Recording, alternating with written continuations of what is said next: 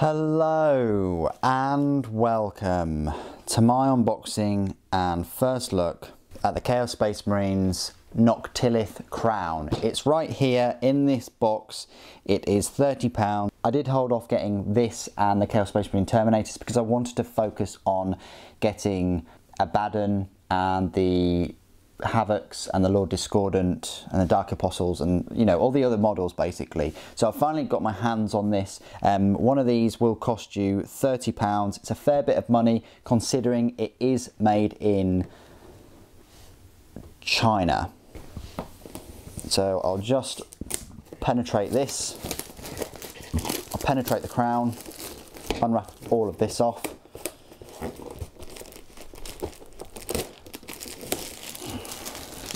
I don't know whether Games Workshop learned from the Genestealer Cult Tectonic Frag Drill, which was £35, which I thought was quite a lot of money. But pricing this at 30, I, th I think any kind of scenery piece, if they price it at 25 to 30 pounds, that's fine. I mean, the Mekboy Workshop was brilliant for 25 pounds. Yes, it's not huge or anything like that, but still, I think if Games Workshop continue to do this and release uh, kind of like um, faction specific scenery pieces like they did with the Aeldari Webway Gate, like they've done with the Imperial Knight Sacristan Forge Shrine, like they've done with the Frag Drill and like this and the Mekboy Workshop. If they continue to do that, but between 25 and 30, 30 pounds, then that will be great.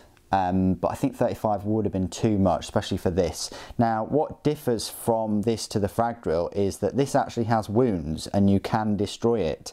It has a save of 3 plus. Chaos units have an 5 plus invulnerable save while they're wholly within 6 inches of this model. I would say that that includes itself because it is does have the chaos keyword and it is clearly within six inches of its own self. So I would say it's got an invulnerable save, but still, many people might disagree with that. Either way, let's have a look. Um, looks absolutely fantastic. Um, bigger than I thought it would be. Um, I thought it looked quite small from some of the pictures on the web, web store. Let's have a look here. You see it says designed in UK, manufactured in China, distributed by Games Workshop Nottingham. That's what they do with all of their books, like all the codexes are made by, I think, CNC in China, um, and all of the scenery pieces, all made in China, all made with the kind of cheaper, I want to say less quality. In my opinion, it is less quality. I've built enough of these kits um, to tell the difference.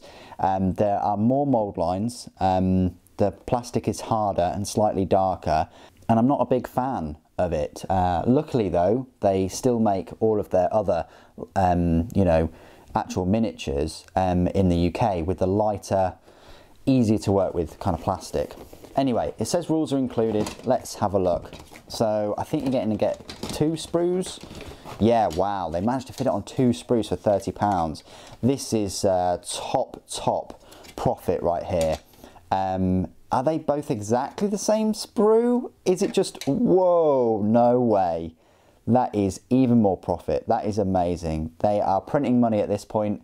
Let me tell you, um, although it's £30, which you would normally say is £15 per sprue, you can't really say it's £15 per sprue here because it is just one sprue duplicated. So you can actually say it's £30. Wow for, uh, for one printout. Very thick, as you can see, mold lines in there. Um, fair few mold lines there, you can just feel them. But it's heavy, it's a heavy one. Shouldn't take too long for me to build this. I'll be able to get a review out for you with the rules and things quite quickly.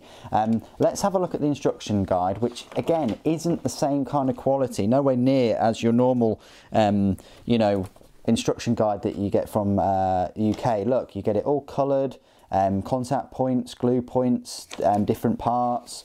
Uh, it's just uh, on a different level compared to these black and white ones. Um, but there you go, look. It's just got arrows, to go to places. I mean, it shouldn't take too long at all. Very quick and easy. Put a load of chains on there and you're sorted. You've got some rules as well. PowerPoint's cost of a five. You know, it's got the, the loathsome aura. This is one of the reasons why you take it is because um, it affects enemy psykers. You've got five plus vulnerable save and it helps your psykers um, too. It can't move and it can explode as well because um, it's got the unstable energies. Uh, it does have flashing warp energies, but pretty pointless, really. You know, um, unless you want to attack this thing in close combat, which might work, uh, but it does have a toughness 8 at the end of the day and a save of 3 plus. But yeah, quite straightforward to build, put together. The hardest bit about this is building up the muscle power to clip it off the sprue. no, the hardest bit about this is to clean up uh, all of the mold lines before you glue it together. And as you can see there, there are some horrific ones in those gaps. Good luck. Um, that's all I want to say to you guys because not only are the mold lines there, there'll be mold, there's mold lines on this these bits too, especially in that bit. That's going to be an absolute pain to get to get rid of. Um, you know, and then there's mold lines on the inside too. So mold lines all the way around there, all the way in there on both sides, and then all the way on the outside. That's where most of your time will be spent um, cleaning them up because you don't want them to be seen on your, you know, chaos. Uh, Stargate, basically. Um, anyway, that's that sprue. The other sprue is exactly the same, as you can see, but it's heavy, it's solid, feels pretty good, but yeah, as you can see, it's the uh, darker, less quality plastic. Look, you can even see it there quite easily next to these Chaos Space Marine Terminators. Um, just no comparison, really. But if it gets the job done, you know, and it's a bit of scenery, you're not going to be looking at the detail as much. That's my unboxing and first look at the Noctilith crown. Everything I expected. I don't know why I expected two different sprues when it is a circle, but ah well. Um, so yeah, it is one sprue just replicated. Quite pricey for £30. And yeah, that's £5 more than the Mekboy Workshop. Mekboy Workshop had quite a number of sprues and loads of different parts, lots more detail too. Um, if you were going for one or the other, well, it depends if you've got a Chaos army or orc army, pick the Mekboy Workshop, uh, definitely in my opinion. Although it'll take you longer, it'll be more fun and uh, a lot more variety uh, too. Anyway, what do you guys think? Put it in the comments below. It'd be great to hear from you. Thank you ever so much for joining me today. Thank you for watching Death to the False Emperor.